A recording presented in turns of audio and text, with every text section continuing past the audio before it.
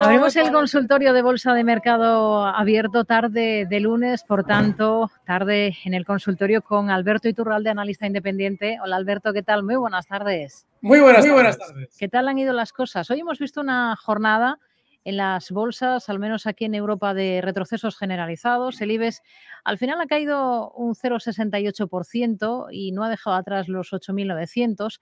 Ha cerrado en 8.936. Hemos visto al DAX con descensos del 0,72%.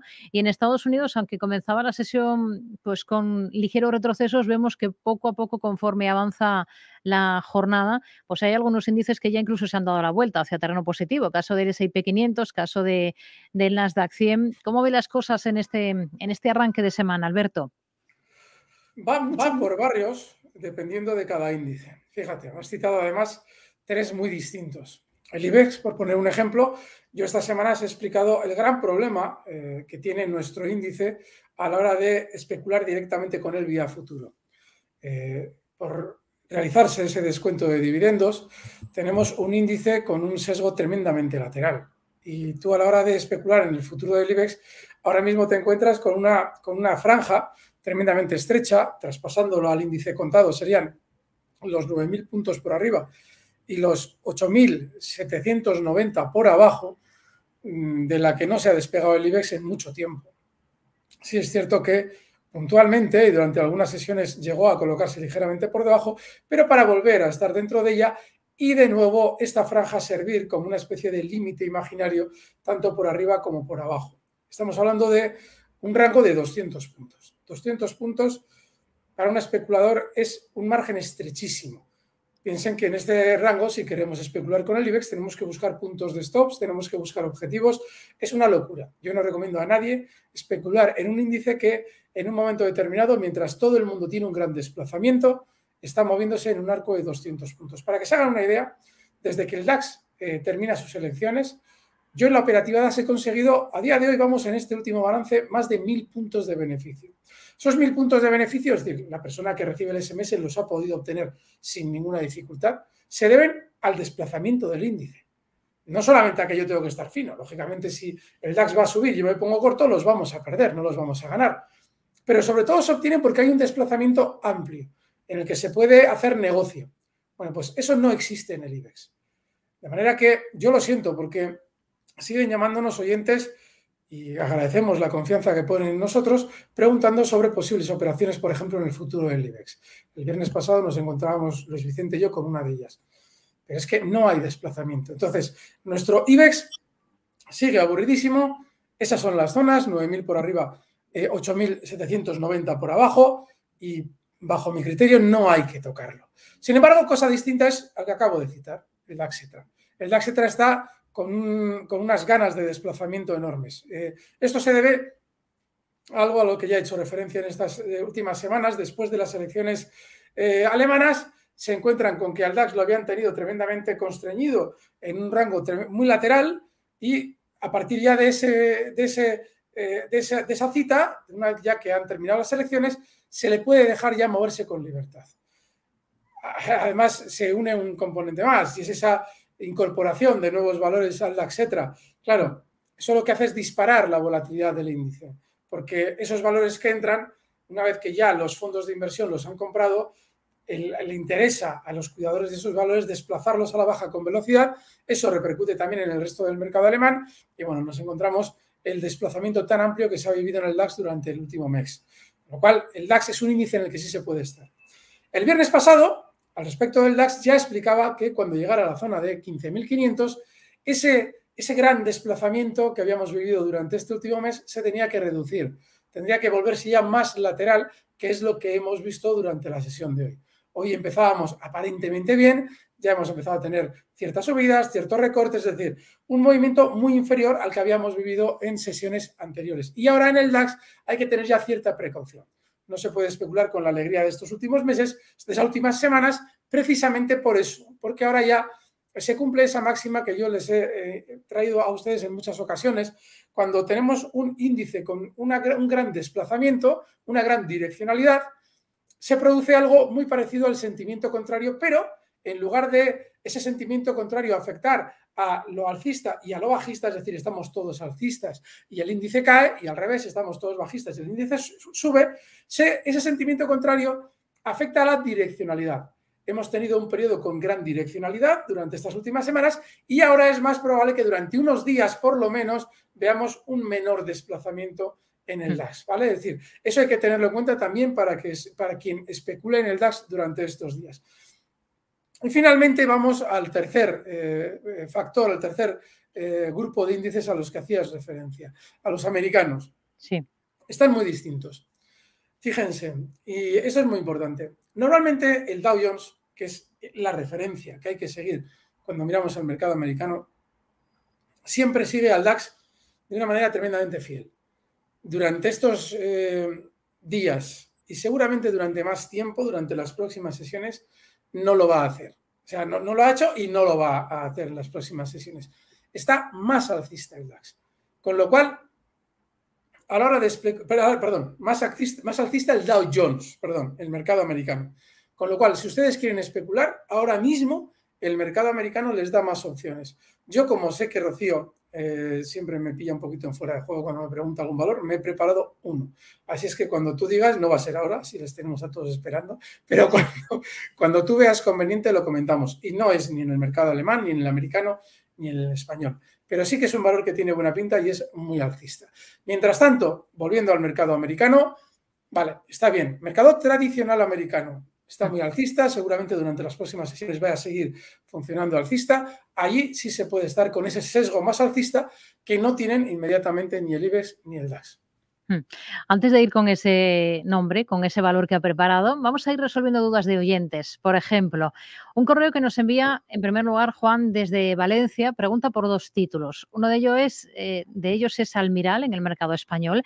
La posición la tiene abierta, Alberto, a 9.55 y el segundo es BMW, la automovilística alemana, para entrar.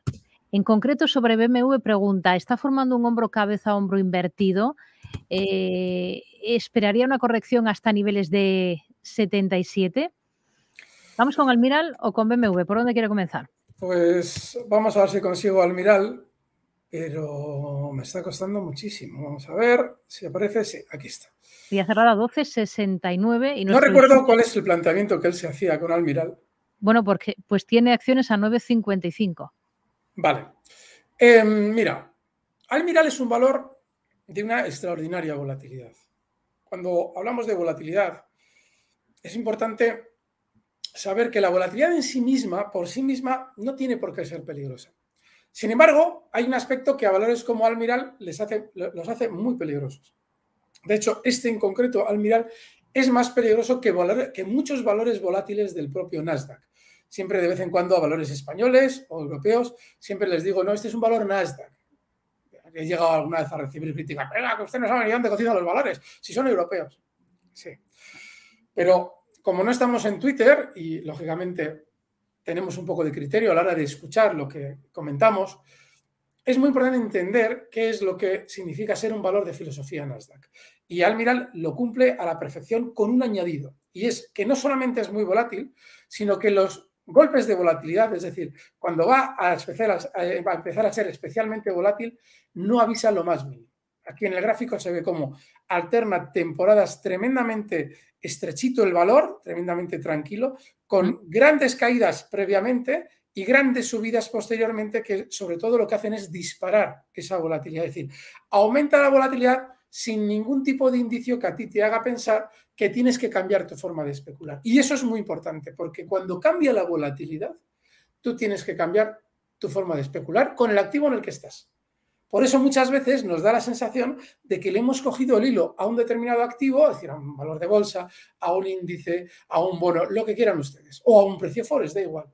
Y de repente, después de unos meses en los que somos o nos sentimos, entre comillas, los reyes del mambo, ese activo nos empieza a cambiar el pie por todas partes y nos marea y nos vuelve locos.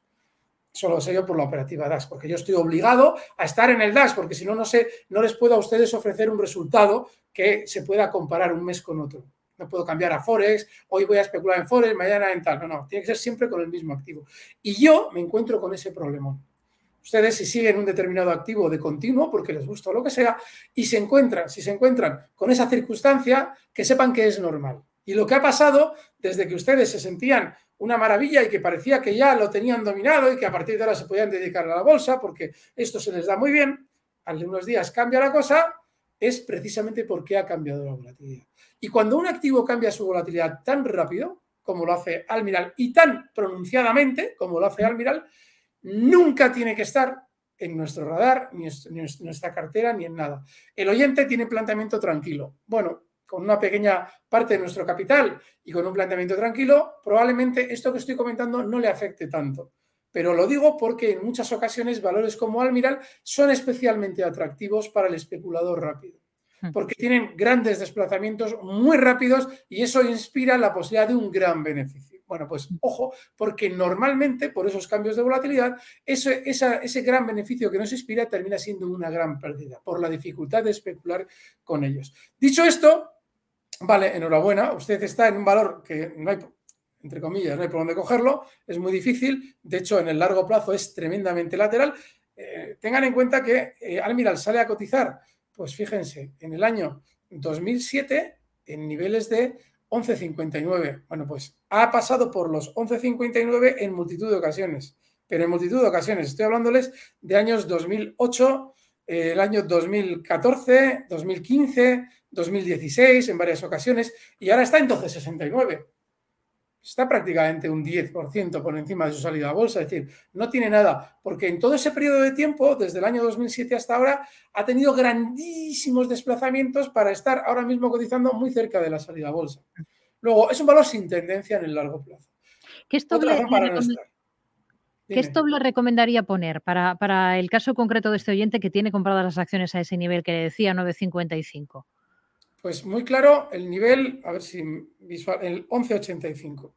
Muy claro, muy, muy claro. Claro, alguien dirá, joder, pero es que, eh, mira, más cercano, para que no te quite tanto beneficio. Un cierre, un cierre por debajo de 12.50, ya marcado por debajo de 12.50, pero un cierre por debajo de 12.50, en el gráfico se ve muy claro por qué es ese 12.50, ¿vale? En el pasado ha sido una gran zona de soporte y también lo ha servido de resistencia y además, mira, nos vienen muy bien eh, estos gráficos y el poder enrollarnos con ellos, porque a veces tenemos la tentación de contestar muchas preguntas.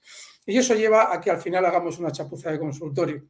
Así es que vamos a ir con tranquilidad para intentar explicar el porqué de las cosas. Entonces, el 12.50 es esa zona de soporte, es clave, ¿vale? En el largo plazo. Pero mm. recuerden, es muy importante entender la filosofía de este valor porque es muy peligroso. Vamos a BMW. Quiero ver yo ese eh, hombro, cabeza, hombre al que hacía referencia nuestro oyente. Invertido. Vale, ya estoy viendo a qué se refiere. Creo que sé a qué se refiere. A ver si me marca todo el gráfico. Vale. Ni por asomo. Ni por asomo. Para que una figura sea tal, tengan en cuenta que la figura tiene una razón de ser previa. Es decir, eh, las cuñas tienen una lógica y hay que conocer la lógica los hombros, cabeza, hombros tienen una lógica y hay que saber cuál es la lógica de esa figura, porque si no conocemos la lógica de la figura, la vamos a utilizar en el momento que no hay que utilizar. Pongo el ejemplo. Para que un hombro, cabeza, hombro sea tal, tiene que ser una figura de cambio de tendencia. Tiene que haber una tendencia previa, muy alcista, y producirse ese hombro, cabeza, hombro, nosotros saber cuáles son las implicaciones. Voy a dibujar el hombro, cabeza, hombro, porque lo estoy aquí explicando, pero no lo estamos, no lo estoy dibujando. Oye, aquí hay muchos hombro, cabeza, hombros. Entiendo que el del oyente, creo que estoy viendo la forma de la cotización y creo que en mi, ahora mismo en mi pantalla estoy viendo de de unos 30 o 40 hombro, cabeza, hombro, por cómo lo hacen los movimientos BMW y el tiempo que tengo de cotización delante. Mínimo, 30 o 40. Lo que pasa es que yo creo que él se refiere a esto que estoy yo dibujando, ¿vale? Puede ser esto que estoy dibujando, es lo más parecido a un hombro, cabeza, hombro que hay ahora mismo en el gráfico, lo más visible, lo más grande, pero también, una vez que yo he dibujado esto, voy a borrarlo y voy a dibujar otro que también podría ser el que él eh, podría estar queriendo indicar, porque también es muy grande. Y es este de aquí, otro hombro, cabeza, hombro, hay un montón de ellos en el gráfico, ¿eh? que esto es menos hombro, cabeza, hombro que el primero, pero bueno, podría ser lo que él quiere, ¿eh? algo así. una cosa un poco rara, ¿no? Bueno, una chapuza. Bueno, el caso es que el siguiente, porque esto no es un hombro cabeza hombro, el grande, el primero que, que he dibujado, lo voy a volver a dibujar.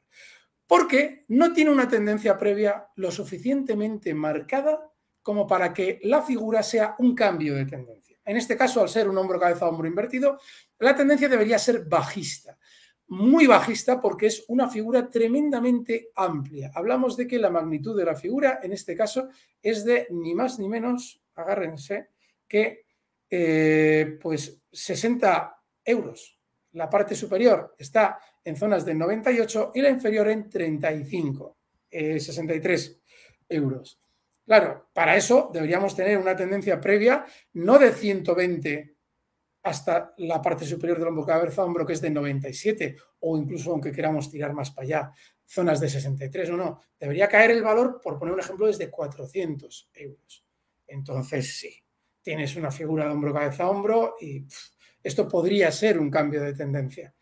¿Vale? Es decir, no es un hombro cabeza hombro porque no cumple la razón de ser de la figura de hombro cabeza hombro que es cambio de tendencia. Tiene además más cosas mal, porque este hombro de aquí es muy, muy, necesita más tiempo para realizarse. El último hombro, para que sea una idea, el que en el gráfico aparece más a la derecha, necesita más tiempo para dibujarse. La pregunta, este señor, es maravillosa la llamada de este señor, porque ayuda mucho a explicar. Yo a los, hay, hay analistas de verdad que se presentan como tales, son analistas que yo hace 10, 15 años les oía despotricar de análisis técnico y ahora quieren hablar de análisis técnico y explicar análisis técnico.